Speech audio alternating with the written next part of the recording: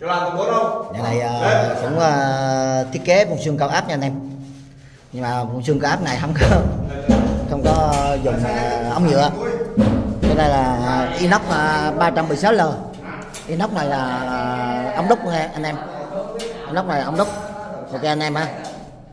Inox này là ống đúc và cái đầu dày của nó là một ly anh em.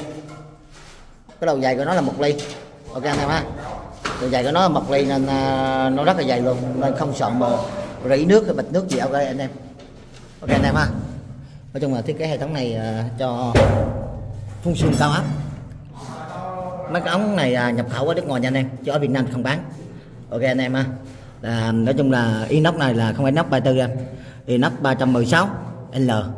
Ờ, cái cái ống này là nói chung là một một cái con một cái ba như thế này nè anh em thì nó đã là 500 ngàn 600 ngàn một cái rồi.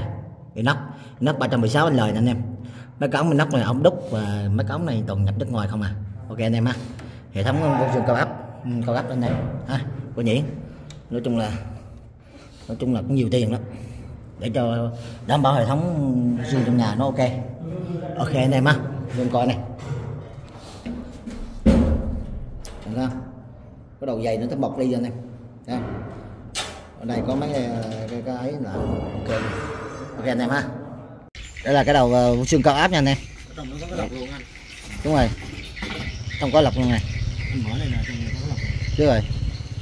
Cái đầu xương cao áp uh, ba hướng nha anh em. Trong đầu này là trong đúc ống vô là ok luôn. Mà ở đây là toàn bộ là xài ống inox uh, đầu dày một ly không anh em? Ống inox đầu dày một ly không à? Ống inox này đúc nhập nhập khẩu ở nước ngoài không à? Rồi đây là sáu hướng anh em.